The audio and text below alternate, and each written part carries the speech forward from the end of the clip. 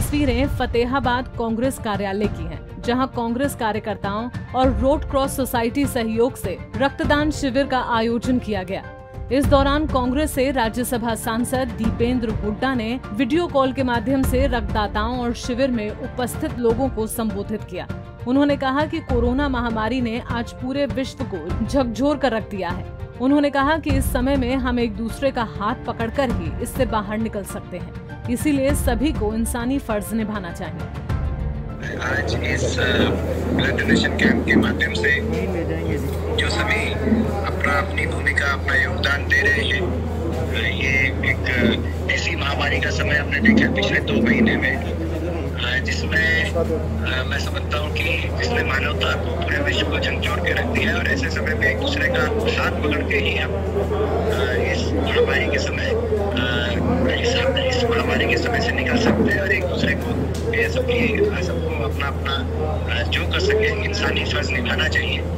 और उसी कड़ी में जो आज यहाँ पे है गीला खीरा जी के नेतृत्व में आनंद पीर जी के सहयोग से यहाँ पे ब्लड डोनेशन कैंप का आयोजन किया गया मैं बहुत बहुत अपनी तरफ़ से बधाई देता हूँ इसके साथ साथ हमने आज जो फतेहाबाद की सारी सी एच सी है जो ग्रामीण अंचल के अंदर जो अस्पताल है सारे बड़े सरकार से सलाह लेकर जो सरकार के हेल्थ सेक्रेटरी से हमने बात करी हरियाणा सरकार के और राजीव अरोड़ा जी से और जो सीएमओ है ज़िले के चिकित्सा अधिकारी उनसे बात करी।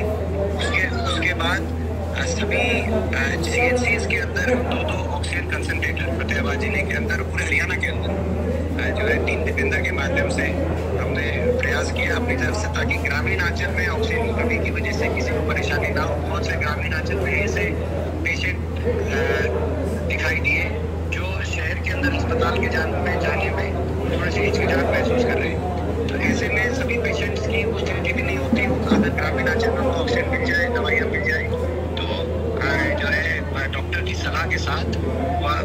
उपचार भी संभव है। इस बात को देखते हुए हमने पूरे हरियाणा में हर सी हरियाणा की हर सी में ऑक्सीजन कंसनट्रेटर पहुँचाने की मुहिम चलाई है, उसी मुहिम के तहत आज फतेहाबाद ज़िले में भी बाकी विस्तृत जानकारी आपको प्रहलाद सिंह जी देंगे, कौन सी सी एच सी में, कौन सी कौन सी सी एच सी में कितनी कंसनट्रेटर हम दे रहे हैं। मगर फतेहाबाद ज़िले के भी हर सी एच सी तक आज हम पहुँचेंगे। एक बार फिर इस दौरान पत्रकारों के सवालों का जवाब देते हुए दीपेंद्र हुड्डा ने कहा कि किसान आंदोलन शांति प्रिय है, जिसके चलते आंदोलन लंबा चल रहा है। अगर कोई उपद्रव करता है तो वो आंदोलन को कमज़ोर करेगा।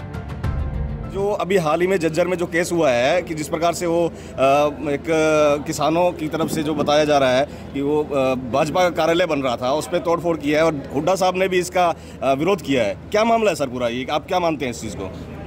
देखिए, मैं ये कहना चाहता हूँ सरकार को सहनशीलता दिखानी चाहिए। ये बात सही है कि जो जो अभी तक संयुक्त किसान मोर्चा ने जिस प्रकार से किसान आंदोलन का संचालन किया है, और वही उसमें कामयाबी का एक बड़ा जो है किसान आंदोलन की कामयाबी का एक बड़ा कारण ये है कि दो तीन कारण है। एक ही है कि इसको कई राजनीतिक रखा है, दूसरा कारण ये भी है कि सूझबूझ से और ये आंदोलन का सबका कानून का पालन करते हुए आंदोलन का संचालन किया गया है। और मैं समझता हूँ कि शांति के रस्ते पे ही रहना चाहिए, तभी कोई आंदोलन की शक्ति होती है। मगर साथ ही साथ सरकार भी सहनशीलता दिखाए।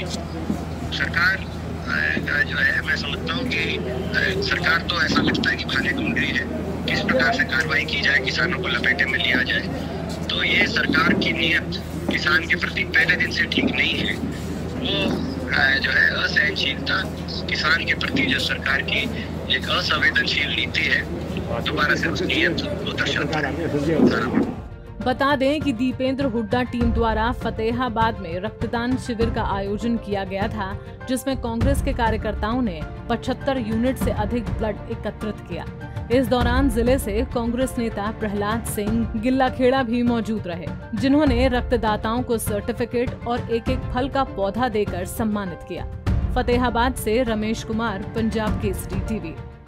हमसे जुड़े रहने के लिए हमारे YouTube चैनल को सब्सक्राइब करें और नई वीडियो की नोटिफिकेशन के लिए बेल आइकॉन को दबाएँ। अगर आप ये वीडियो Facebook पर देख रहे हैं तो लाइक ज़रूर करें और ज़्यादा से ज़्यादा शेयर करें। धन्यवाद।